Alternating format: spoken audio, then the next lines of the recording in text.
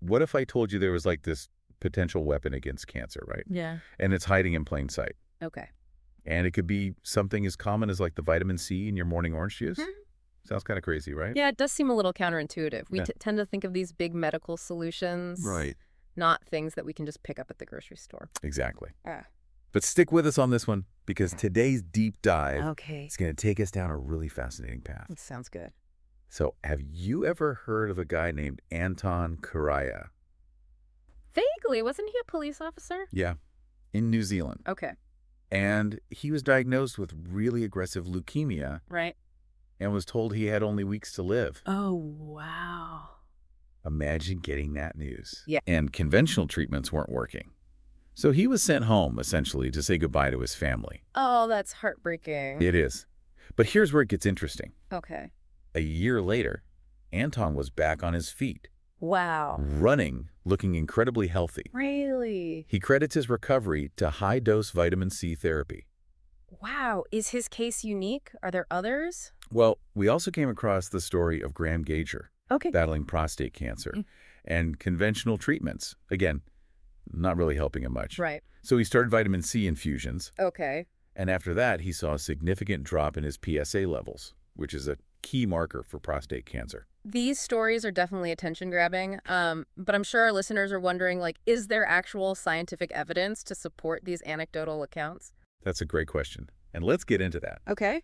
So, Professor Marguerite Vissers, she's a researcher at the University of Otago, Mm-hmm. has been doing some really interesting work in this area. I see. And her team looked at mice with tumors. Okay. And what they found was those with higher vitamin C concentrations in the tumors actually had slow wave cancer growth. Professor Visser's research is so important because Yeah. they're really trying to delve into the why. Right. You see, we usually think of vitamin C as an antioxidant, Right. which protects our cells from damage. Exactly. But what's fascinating is that at high doses, vitamin C seems to do the opposite. Mm, It acts as a pro-oxidant. that's wild. Yeah. So it's like vitamin C has Uh. a split personality when it comes to cancer then. Yeah, you could say that. So what are the implications of this pro-oxidant effect? Essentially, it could mean that high dose vitamin C could help generate hydrogen peroxide within the body, Okay. which is actually toxic to cancer cells. Wow. There's even research suggesting this high dose vitamin C might work by cutting off the blood supply to tumors, Oh, effectively starving them. Wow, that's incredible. Yeah.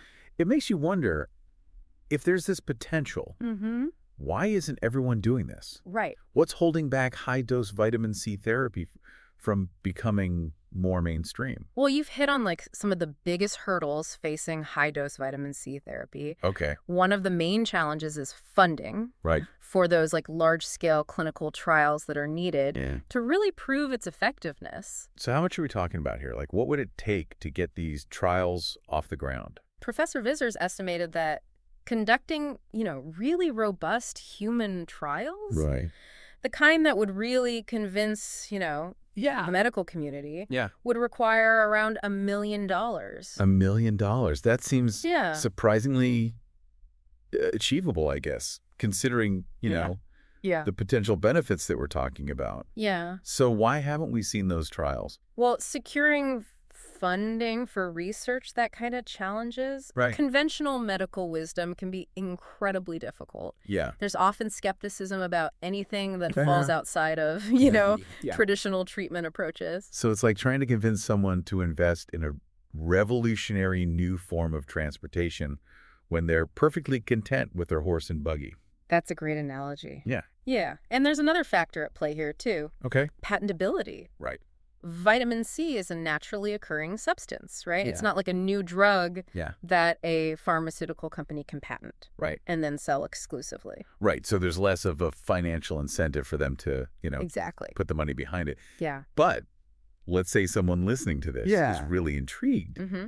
Could they just start taking high doses of vitamin C supplements on their own? That's really important to address. Yeah. So, we've been talking about high dose intravenous vitamin C therapy, Right. which is very different Uh. from taking oral supplements Yeah. to reach the high concentrations needed Right. to potentially impact cancer cells. Yeah.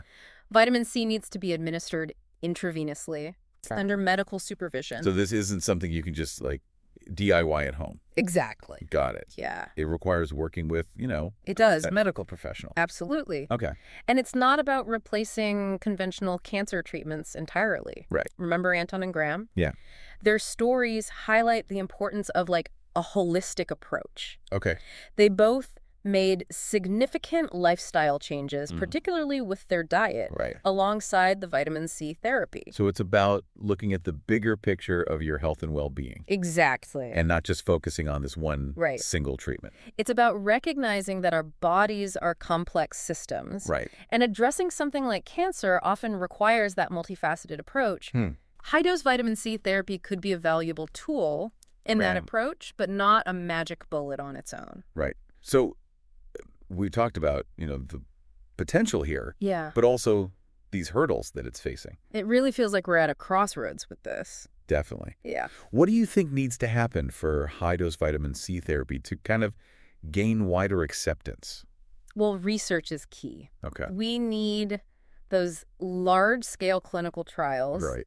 to really, I think, understand its effectiveness Mhm. across, you know, different Right. cancer types and stages. Yeah, we need to move beyond those individual stories. Yeah. Like Anton's and Graham's, Mhm. as inspiring as they are, Absolutely. and get, you know, Yeah.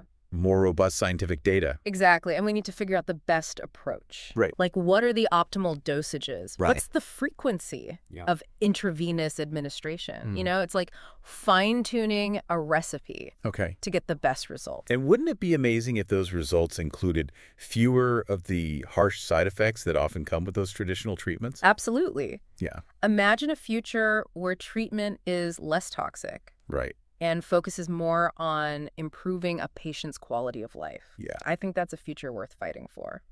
It really makes you think what other like possibilities are out there? Yeah. What other like Yeah. simple, readily available substances Mm-hmm. might have this Right. untapped potential? It's like we've just scratched the surface. Yeah, really. We have to stay curious, Ugh. keep exploring, be Yeah. open to these new possibilities, and right, even if they seem unconventional at first. and that's what the deep dive is all about, right? There you go. Taking a closer look at things we might take for granted Mm-hmm. and uncovering the surprising truths that are hidden beneath the surface. Exactly. Sometimes the most groundbreaking discoveries come from the most unexpected places. So the next time you're, you know, enjoying that glass of orange juice, Yeah. Just remember there might be more to that vitamin C than meets the eye. Right? A lot more. It's a reminder that the world is full of surprises and there's always more to learn. Absolutely. Well, thanks for joining us on this incredible deep dive into the world of vitamin C and cancer. Yeah. Thanks for having me. And until next time, keep asking questions, keep exploring, and never stop learning.